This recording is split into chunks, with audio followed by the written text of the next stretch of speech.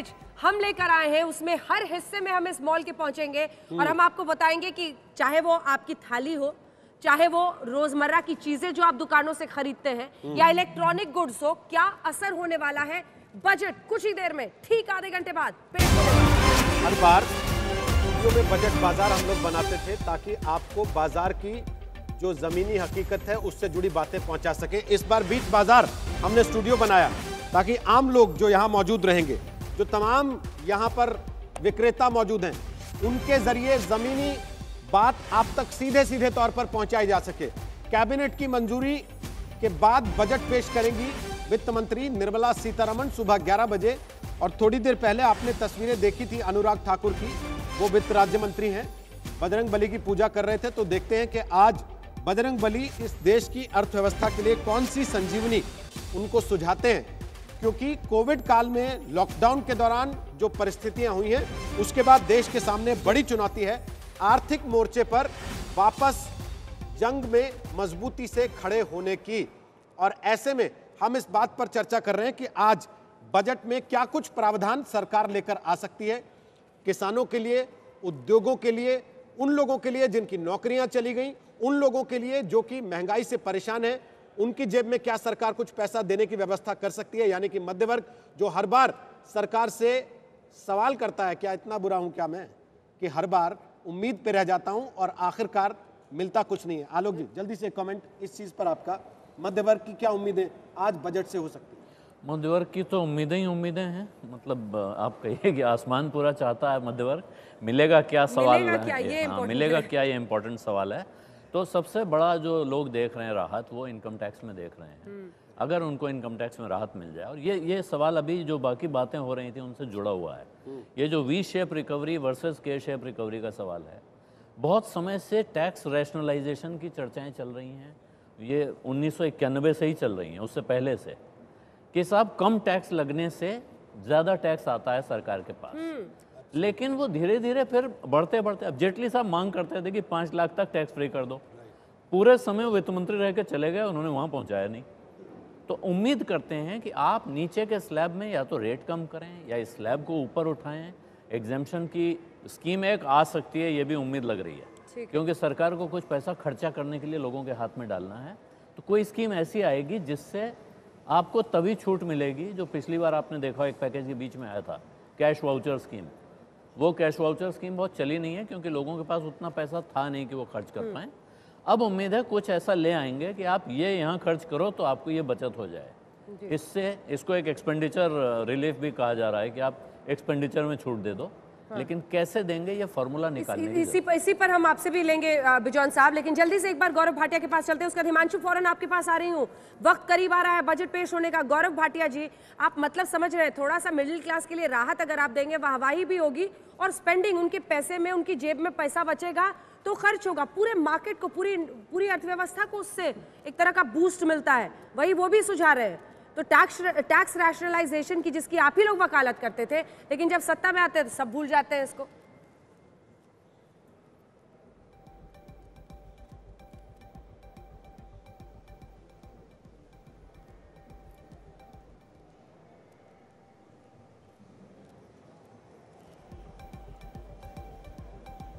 कहूँगा। गौरव जी की middle class का भी ध्यान। आवाज़ नहीं आ रही है गौरव जी आपकी। वापस आएँगे आ आप हाँ, अब आने लगी आ अब आने लगी। आ गई हाँ। जी जी तो आप सुन पा रहे अंजना जी बोलिए। कह रहा था हाँ, अंजना जी आपने दो बातें उठाई। पहले तो आपने मिडिल क्लास की बात करी तो अगर मुझे सही याद है पिछले साल भी जब हम बजट की चर्चा कर रहे थे तो मिडिल क्लास को राहत दी गई थी जो टैक्स स्लैब्स थे उसमें। आप भी चेक कर लीजिएगा। और दूसरी बात अब क्योंकि बजट पेश होने में कुछ ही समय है क्या होगा क्या नहीं इस पे मैं टिप्पणी नहीं करूँगा बट ये ज़रूर कहूँगा ये समावेशी बजट होगा। भाटिया जी राहत दिखाना और राहत देना दो अलग अलग चीज़ें होती हैं। राहत दिखाई गई थी। नहीं दिखाई नहीं गई थी रोहित जी। मैं आपको याद दिला दूँ मेरे सामने वो है नहीं डेटा लेकिन एक बात मैं आपको बिल्कुल स्पष्ट कर दूँ जो टैक्स स्लैब और एग्जेम्पशन था उसमें बदलाव लाया गया था जो कि मध्य वर्ग के लिए एक बहुत बड़ी राहत थी। दूसरी बात में थोड़ा सा आपने दिया था ठीक है टैक्स लाभ में आपने थोड़ी सी राहत दी थी। बिल्कुल इसीलिए मैंने कहा ठीक है इस बार कुछ होने वाला है या नहीं कुछ बता सकते हैं तो बताइए अब तो कुछ ही मिनटों में रहस्य खुल जाएगा। मैं कहता हूँ ये क्षेत्र अधिकार वित्त मंत्री जी का है और जो भी रहस्य है वो सब खुलेगा संसद के पटल पे खुलेगा तो हमारी जो लोकतंत्र है वो और बेहतर हो जाएगी। मैं कुछ कहूँ वो उचित नहीं लेकिन किसानों पे एक बात ज़रूर कहूँगा कि आपने तीन कानूनों की बात करी बड़ा संक्षिप्त में। जो इकोनॉमिक सर्वे आया है, उसमें भी कहा है, ये जो तीन कानून है, ये दशकों से बदलाव जो है, पेंडिंग पड़ा था, और इससे छोटे किसानों का लाभ होगा। साथ में और बड़े बदलाव जो हमारी सरकार लाई है, चाहे किसान सम्मान निधि हो, किसान क्रेडिट कार्ड हो, और तमाम ऐसी चीज़ें हैं जो हमने किया है, आगे भी करते रहेंगे।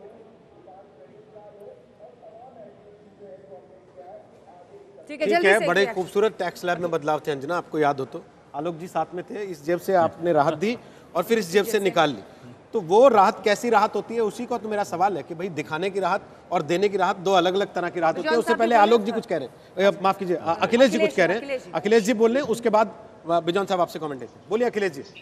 देखिए रोहित जी जब से आदरणीय मोदी जी की सरकार आई है आप लोग हम लोग एक्सपर्ट लोग ये सुझाव देते हैं। और जो सुझाव देते हैं वो सुझावों पे सरकार यदि थोड़ा सा भी सुझाव मान लेती तो हमारे इकोनॉमी का इतनी बुरी हालत नहीं होती। खैर, हम आप अपना धर्म निभा रहे हैं, सरकार से उम्मीदें करते रहते हैं, आज भी कर रहे हैं। लेकिन देखिए, अभी इन्होंने जवाब नहीं दिया हमारे साथी भाटिया जी ने। वो हमारे ऊपर अनर्गल आरोप लगाने लगे। क्या जीएसटी रिटर्न दे पा रही है केंद्र की सरकार? कोविड पीरियड में गैस पे पहले उसके पहले 50 परसेंट सब्सिडी हुआ करती थी। आज पता गैस सिलेंडर पे सब्सिडी कितनी है? दाम तो 800 से ऊपर है। बीच में दस रुपए बीस रुपए आती थी। आज चालीस रुपए आती है। 50 परसेंट सब्सिडी को जो 300, 250, 400 आती थी उसको दहाई पे ले आए हैं सैकड़े में जो आती थी। और कहते हैं कि हम लोग गरीबों की मदद कर रहे हैं। कहाँ कर रहे हो भाई आप? आप दो काम जब तक नहीं करोगे इस देश की इकोनॉमी नहीं अच्छी होने वाली, मैं बार बार आपसे कह रहा हूँ। राहुल गांधी कहते कहते थक गए। कैश ट्रांसफ़र करिए, जॉब क्रिएट करिए। सेंट्रल गवर्नमेंट के जॉब क्रिएट करिए। प्रॉफिट की यूनिटें बेचना बंद कर दीजिए।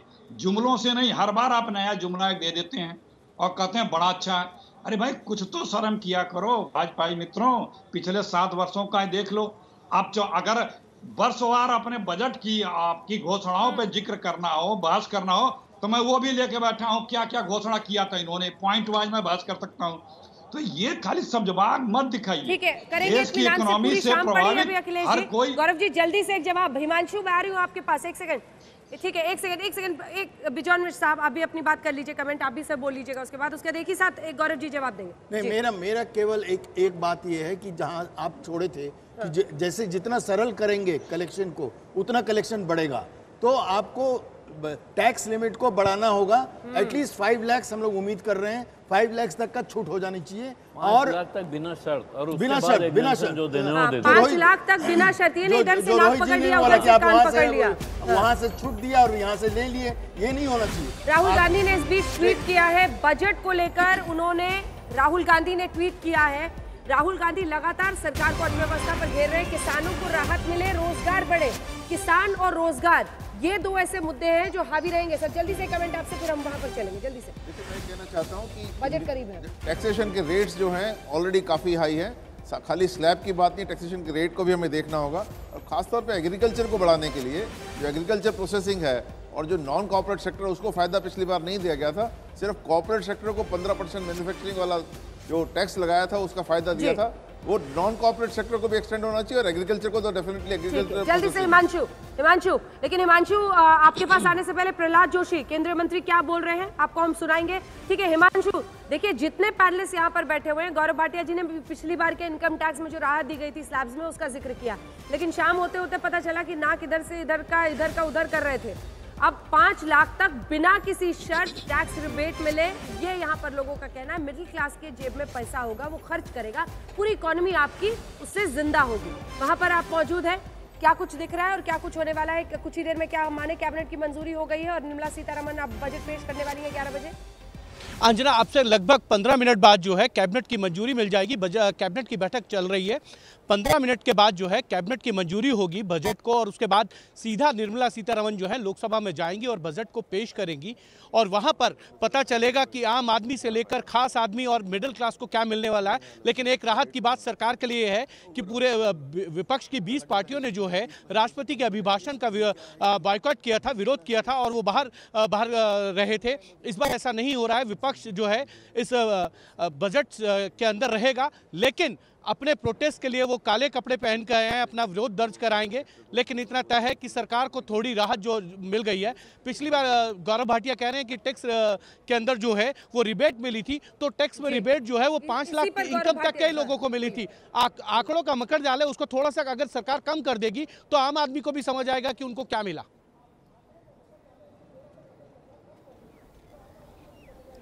आंकड़ों की कलाबाजी के बड़े माहिर माने जाते हैं आप, गौरव भाटिया जी मतलब आपकी पार्टी। देखिए सबसे पहले तो एक बात कहूँगा, अभी कांग्रेस के प्रवक्ता आरोप लगा रहे थे कि गरीबों के लिए कुछ नहीं किया। अरे, कम से कम ये तो याद रखिए, जब कोविड का महासंकट आया तो 80 करोड़ ऐसे नागरिक हैं जिनको हम लोगों ने सुनिश्चित किया कि खाना मिले, मुफ़्त में मिले। और अब मैं दो बातें कहूँगा।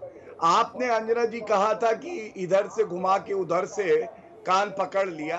तो कान भी पकड़े जाते हैं, लेकिन उनकी जो टैक्स चोरी करते हैं, और इसीलिए टैक्स कलेक्शन बेहतर होता है। और रोहित जी ने एक बड़ी अच्छी बात करी, एक जेब से निकाल के दूसरी जेब में डालना, ये कैसे उचित है?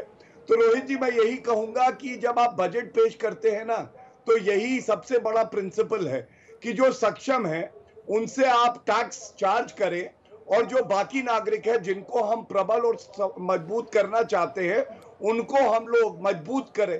तो यही काम सरकार कर रही है और आगे भी बड़े जो कदम है वो उठाए जाएँगे जिससे देश वाकई आत्मनिर्भर अच्छा, बनेगा सक्षम देश। का भविष्य देशभक्त नहीं कहा कि अगर आप देशभक्त हैं तो देते रहिए जितना सरकार मांग रही है। नहीं देखिए रोहित जी जैसे आप ही हैं। आपसे बड़ा देशभक्त कौन हो सकता है? जब आप टैक्स पे करते हैं तो देशभक्ति का इससे बेहतर उदाहरण कोई होता नहीं है। और अन्नदाता अगर अपना काम करते हैं तो टैक्स पेयर की भी बहुत बड़ी सर्टिफिकेट दे ही रहे हैं तो सर क्वालिटीज भी बता दीजिए सर क्या क्या देख के आप लोग देशभक्त करार देते हैं आजकल? आज मैं तो तो कहूँगा टैक्स अगर आप पे करते हैं अंजना जी आज टैक्स देने वाला तो आप है, देशभक्त हैं? मैंने बताया ना आप टैक्स पे करती है तो आप देशभक्त हैं। किसी गरीब बच्चे को शिक्षा क्यों बंद किया हो? अगर आपके पास डिजिटल को ऊपर लेके जाना है इतना डिजिटल इंडिया बनाना है तो फिर इंटरनेट ऑन कीजिए। सर वो लॉ एंड ऑर्डर को मेंटेन करना no law and order law and order का सिर्फ़ कसूरवार इस सरकार के भेजे हुए कुछ ऐसे तत्व हैं जो जानबूझ के किसान के आंदोलन को खराब करता है। And much something will come out good from the budget. So कपड़े में संसद पहुँचे हैं वो विरोध कर रहे हैं सरकार का। मैं किसान हूँ लिखा हुआ है खेती करने वाला मजदूर हूँ अखिलेश जी। आज जब अभिभाषण राष्ट्रपति का हुआ था तब तो बहिष्कार किया था। लेकिन काले कपड़े पहनकर आज पहुँच रहे हैं विरोध जताने के लिए। राहुल गांधी भी पहुँचेंगे? क्या ऐसे? राहुल गांधी भी ऐसे पहुँचेंगे क्या? अखिलेश जी। जी कैबिनेट की बैठक खत्म हो गई आपको बता दें मतलब कुछ ही देर में मंजूरी की भी खबर आ जाएगी और उसके बाद बजट पेश होगा। अब सिर्फ़ सत्रह मिनट का इंतज़ार है। अखिलेश जी अपनी बात बोलिए। अखिलेश जी बोलिए। रोहित जी देखिए सरकार की ने क्या किया पिछले कुछ वर्षों में? अपने मित्रों का साढ़े नौ लाख करोड़ रुपए माफ़ किया। यही पैसा और कितने लाख करोड़ बैंकों का एनपीए चला गया। यही पैसा यदि एमएसएमई सेक्टर को मोदी जी दे देते या अभी भी दे दें और जो लोगों की बाइंग कैपेसिटी है किसानों की मांगों मांग करके। तो आप देखिए इकोनॉमी रिवाइव कर जाएगी। इनकम टैक्स में रिबेट दे दें कैश ट्रांसफ़र कर दें एमएसएमई सेक्टर को रिवाइव कर सबसे ज़्यादा नौकरियाँ सबसे ज़्यादा टैक्स जी बताइए ना राहुल गांधी भी आज ऐसे ही आएँगे क्या विरोध में? क्या कांग्रेस पार्टी ने कहा है सभी नेताओं को ऐसे पहुँचने वो या अभी आप देख पहुँच रहे हैं? आप अभी देख अभी आप देख लीजिएगा मैंने कहा ना कि नए नए जुमले गढ़ देने से इकोनॉमी नहीं ठीक होने वाली है। मैनेजमेंट इवेंट मैनेज चला करके इकोनॉमी नहीं ठीक होने वाली है। उसके लिए आपको मेहनत करना पड़ेगा।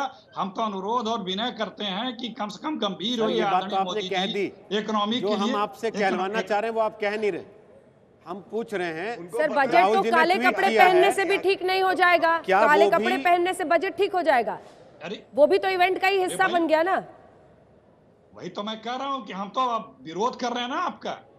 अपनी आपत्ति दर्ज करा रहे हैं। कि आप गंभीर होइए। हमारा ये धार, राजनीतिक धर्म है, संवैधानिक अधिकार है हमारा।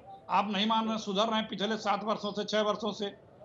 कब बार बार आपको आवाज़ लगाते हैं, आपको मदद करने को तैयार होते हैं, आपको सुझाव देते हैं, आपको सलाह देते हैं। अभी गिना रहे थे कि मैंने, अरे, अस्सी करोड़ लोगों को खाद्यान्न दिया। ये तो जवाब दीजिए गौरव भाटिया जी वो कह रहे हैं आप लोग शामिल ही नहीं करते विपक्ष के। सुझाव ही नहीं सुनते हैं विपक्ष का। देशभक्ति का अपना एक तो सर्टिफिकेट आपने बना लिया है कुछ ही लोगों को देते हैं।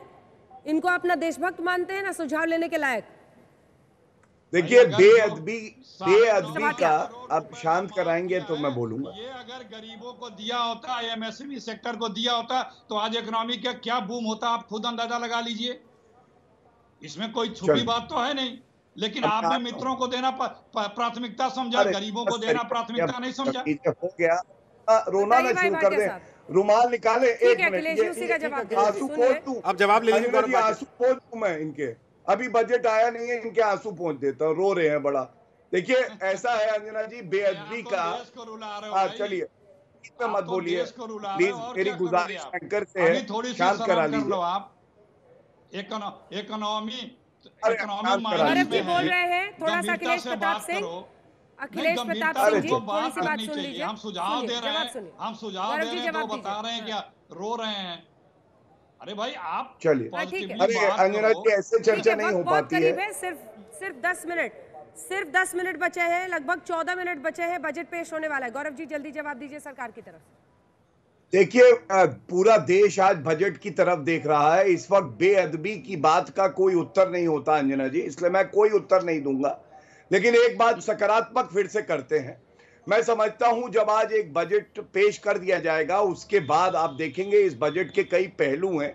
और कोविड की महामारी में, संकट में भी किस तरह से पूरा देश एकजुट होके पूरे हौसले बुलंद करके लड़ाई लड़ रहा है और हमारी अर्थव्यवस्था कैसे बेहतर हो रही है ये पूरा सामने आएगा बजट रखने के बाद। और फिर से कहूँगा ये समावेशी सकारात्मक बजट होगा जिसमें बदलाव आएँगे जो दूरदर्शिता दिखाएँगे लंबे समय में भारत कैसे आत्मनिर्भर बने ये ये बजट सुनिश्चित करेगा।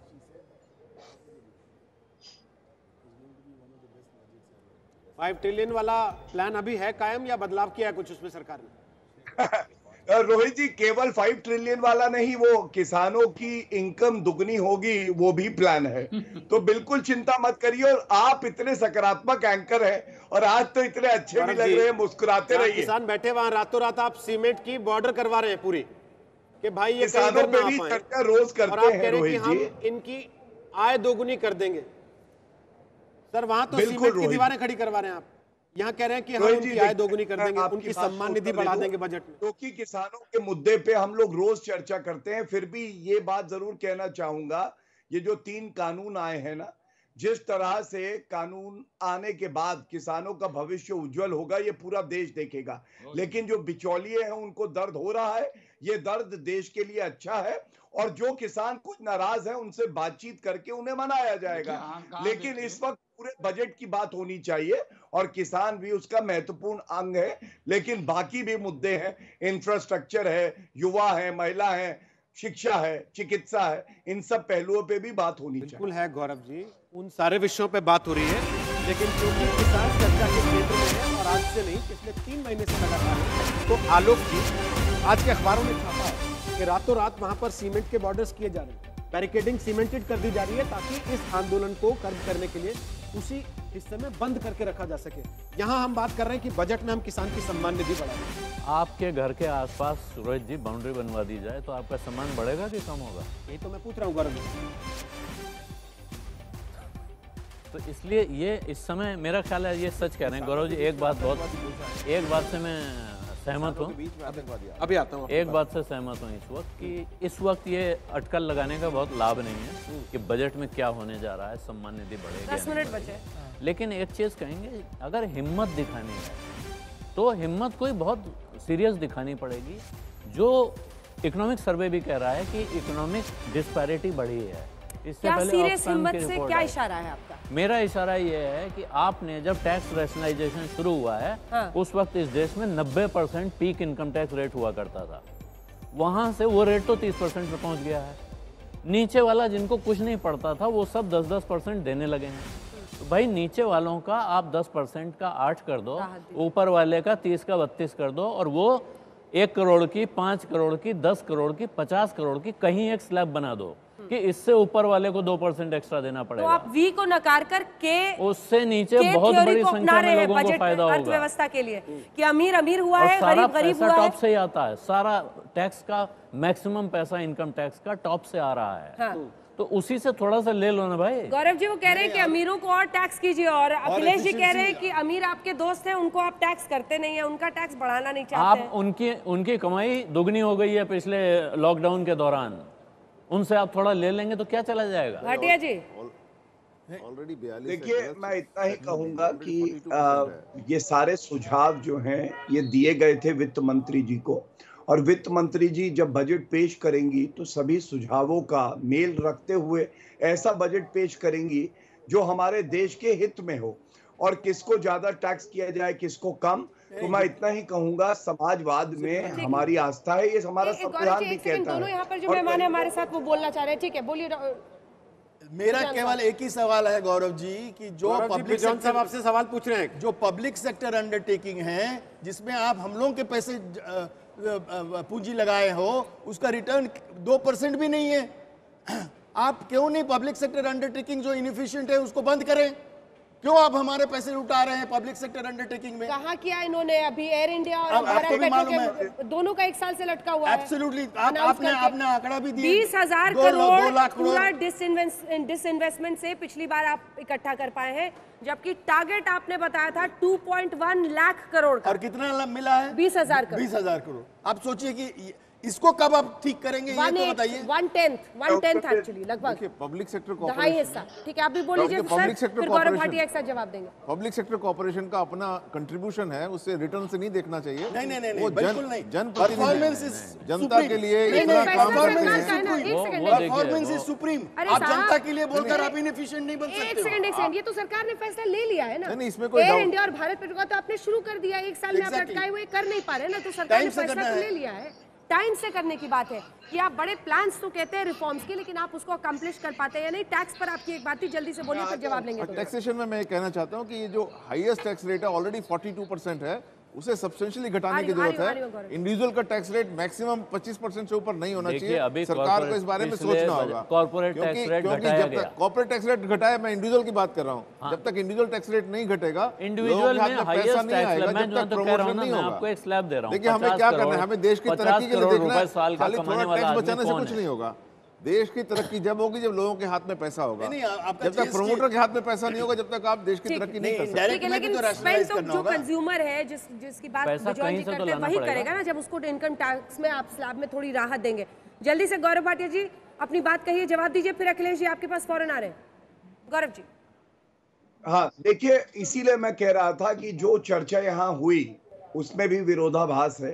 अभी पाँच मिनट पहले कहा जा रहा था, एक इल्ज़ाम लगाया जा रहा था सरकार पे कि पूंजीपतियों का भला करते हैं। और उसके अगले सेगमेंट में पूछा गया कि डिसइन्वेस्टमेंट क्यों नहीं हो रहा है, बड़े बदलाव क्यों नहीं हो रहे तो विरोधाभास ये डिसइन्वेस्टमेंट होगा तो कहीं ना कहीं फिर से प्राइवेट एंटिटी आएँगी, तभी डिसइन्वेस्टमेंट होगा। उसका भी विरोध विपक्ष करता है। और दूसरी बात, बड़े बदलाव ये होते हैं, भारत के पास इंसॉल्वेंसी बैंकरप्सी कोड कौन लाया? दशकों से इसकी मांग थी। हम जानते हैं एनपीए कैसे बढ़ रहे थे कांग्रेस की सरकार में। हमारी सरकार लाई और उससे क्या हुआ है? उससे लाखों करोड़ रुपए की रिकवरी हुई है, जिसको सराहा सर्वोच्च न्यायालय तक ने है। एक जजमेंट है स्विस रिबिन का। वो पढ़िएगा। वो कहता है कि लाखों करोड़ की रिकवरी नरेंद्र मोदी जी की सरकार में इसलिए हुई क्योंकि इंसॉल्वेंसी कोड आया।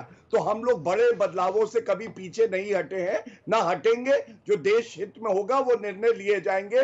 और तीन जो कानून है किसानों के लिए ये भी उसी बात का उदाहरण है। और रिफॉर्म का जब फैसला लीजिए ना सर कहा जाता है अर्थव्यवस्था के बारे में कि आंकड़े झूठ नहीं बोलते ए और बी। जो रिफॉर्म करना चाहते हैं उसमें कंफ्यूजन मत रखिए फिर। फिर आपको वो स्वस्थ सरल तरीके से करना होगा। तो विनोद जैन साहब टैक्स तो एक्सपर्ट है। एक सेकंड एक सेकंड सर एक सेकंड अखिलेश अखिलेश जी। अंजना जी ठीक है। ठीक है उस पर अखिलेश जी बोलेंगे राहुल गांधी ने ट्वीट भी किया उस पर भी वो बोलेंगे। लेकिन विनोद जैन साहब टैक्स एक्सपर्ट है एक इनपुट वो देना चाह रहे हैं फिर फ़ौरन आ रही हूँ अखिलेश जी। देखिए मैं टैक्स को लेकर। देखिए मैं इनपुट ये देना चाह रहा हूँ कि जो नॉन कॉर्पोरेट सेक्टर है एमएसएमई सेक्टर है उसको डेफिनेटली फ़ायदा देने की आज ज़रूरत है। अगर हम आत्मनिर्भर भारत की बात करते हैं तो सिर्फ़ कॉर्पोरेट सेक्टर का टैक्स रेट घटाने से नहीं होगा non corporate tax non corporate tax को भी घटाना होगा, जैसे 15 परसेंट टैक्स रेट का बेनिफिट आप लोगों ने कॉर्पोरेट सेक्टर को दिया वो नॉन कॉर्पोरेट को भी ज़रूर देना होगा ताकि एमएसएमई सेक्टर आगे जा सके। Similarly, सेक्टर के लिए एक सवाल है कि आपको लगता है बैंक से जितने लोन मिलने चाहिए उतनी लेंडिंग हो रही है? इसको लेकर कई सवाल उठते हैं कि लेंडिंग ही नहीं हो पा रही है। फिर उन्होंने पूछा कि लोग लोन ही नहीं लेना चाहते। लोगों को लग रहा है कहीं व्यापार करूँ बैठ बैठ जाएगा जो परिस्थिति है।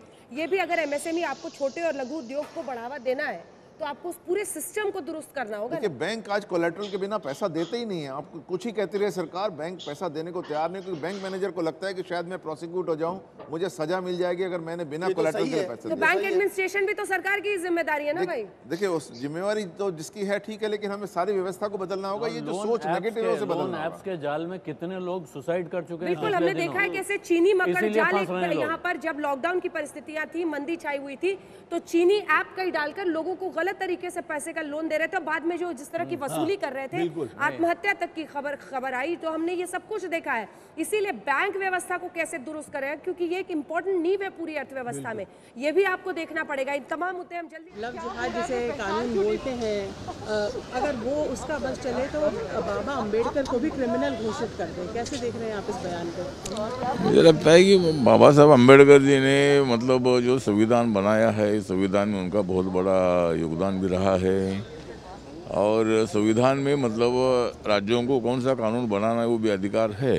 तो मुझे लगता है कि यहाँ कानून बनाया है, लेकिन यहाँ का जो धर्म परिवर्तन है, ऐसा नहीं होना चाहिए। इसीलिए मतलब ये कानून बना है। तो राज्यों को क्या कानून बनाना है वो अधिकार है? इसमें बाबा साहब अंबेडकर जी के विचारों का कोई हनन होने का विषय तो नहीं है। राज्य और केंद्र को जो अधिकार है उसके मुताबिक असेंबली को अधिकार है पार्लियामेंट को अधिकार है उसके मुताबिक वो लॉ बना है। तो मुझे लगता है कि इसमें बाबा साहब अंबेडकर जी के विचारों का कोई हनन बिल्कुल नहीं है। बजट पर नहीं बल्कि राज्यों के अधिकार और संविधान के साथ छेड़छाड़ का सवाल उनसे पूछा गया। के में। उस पर जवाब दे रहे हैं। धर्म परिवर्तन का कानून जो कुछ राज्यों ने रखने की बात की है उसको लेकर वो कमेंट कर रहे हैं। अखिलेश जी अपनी बात कह लीजिए। आवाज़ नहीं आ रही लगता आपको? अखिलेश जी सुन पा रहे हैं तो अपनी बात कह लीजिए क्योंकि इसके बाद वित्त मंत्री कहेंगे अपनी बात। डिस्कनेक्ट हो गया अखिलेश जी लगता है। कोई बात नहीं अब इसका डिजिटल इंडिया पर दोष न लग जाए। गौरव भाटिया जी मुस्कुराने लगे हैं। कनेक्टिविटी बहुत बड़ी प्रॉब्लम है। लेकिन ये देखिए हाथ में टैब लिए निर्मला सीतारमन। तीसरा बजट अपना पेश करने वाली है। कुछ मिनटों का इंतज़ार है। अच्छा एक सवाल मैं गौरव आलोक जी से पूछना जैसे चाह मुस्कुरा रहे एक सेकंड गौरव जी से पूछ रहे गौरव जी पहले प्रिंट आउट आता था आम लोगों तो सबको एक कॉपी दे देते थे बजट की। अब की बार सबको एक एक आईपैड दे रहे हैं क्या? किसी में बजट देखना। या पेन ड्राइव दे देना iPad बोलना मना है। या मेल पर वो एप्पल कंपनी का है वो अमेरिका में बना हुआ है। इसलिए टैब बोलिए। और किसी कंपनी का भी प्रचार नहीं करिए सांसदों को। गौरव जी। जब प्रिंट आउट आता था तो प्रिंट आउट दिया जाता था ना या प्रिंटिंग मशीन दी जाती थी। इसी तरह से पीडीएफ कॉपी आपके पास पहुँच जाएगी। आईपैड की लालसा क्यों करते हैं? उस समय का इंतज़ार करिए आईपैड तो आपके पास है।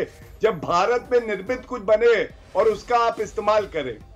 बजट का कंटेंट अच्छा होगा ये ज़रूर कह सकते हैं। आपको भी टोक रही हूँ आक्रो आपको भी टोक टो, एक सेकंड एक सेकंड अरे साहब आईफोन आईपैड एप्पल कंपनी का है। यहाँ रविशंकर प्रसाद टेलीकॉम मंत्री कह रहे हैं कि हम सब कुछ मैन्युफैक्चर कर रहे हैं इंडिया में और आप दूसरी अमेरिकी कंपनी का प्रचार किए जा रहे हैं। मेड इन भारत वाला टैब लेकर उससे बजट पेश करने वाली है निर्मला सीतारमन। तो फिर आत्मनिर्भर और वोकल फॉर लोकल, ये सब कुछ का प्रचार हो रहा है तो फिर उसको उस मकाम तक ले जाया जाए कि हम लोग अमेरिकी कंपनी का तो नाम ना ले। इस्तेमाल हाथ में चाहे जो भी करते हो हो सकता है आपके भी हाथ में वही अमेरिकी कंपनी का ही फ़ोन हो, लेकिन यहाँ पर सब पैनलिस्ट कहने लगे कि हमारे हाथ में भी वही है। लेकिन चलिए, एक दिन ऐसा भी आएगा जब हम सब भारत में बने हुए किसी फ़ोन को assembled in India assembled in India होता है। और मेड इन इंडिया वाला टैब लेकर निर्मला सीतारमन बजट पेश करने वाली हैं। तो ये मुस्कुराहट जो उनके चेहरे पे आप देख रहे हैं और गौरव भाटिया जी के चेहरे पे गौरव भाटिया जी आत्मनिर्भर made in India stand up India सब बड़ी बड़ी बातें लेकिन नौकरी महँगाई से राहत आम आदमी को अर्थव्यवस्था में एक विकास और इनकम टैक्स स्लैब में राहत। इन्हीं चार पाँच चीज़ों पर लोगों की नज़र रहती है। आज जल्दी से एक रिमार्क क्योंकि उसके बाद निर्मला सीतारमन जी बजट पेश करेंगे। हम आपको बताते हैं आज तक पर हिंदी में आप ये बजट भाषण देखेंगे। और अब कोई ब्रेक नहीं होगा। जब तक ये बजट भाषण चलेगा लगातार बिना ब्रेक के। नमस्कार मैं हूँ अंजना ओम कश्यप हमें उम्मीद है ये वीडियो आपको पसंद आया होगा। लेटेस्ट खबरों के लिए यूँ ही देखते रहिए आज तक और इस वीडियो के पसंद आने पर लाइक शेयर एंड सब्सक्राइब करना ना भूलें।